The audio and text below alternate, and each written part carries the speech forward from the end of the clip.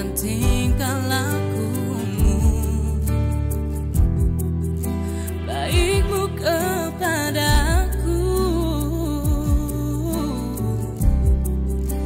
Menyamarkan kepribadian.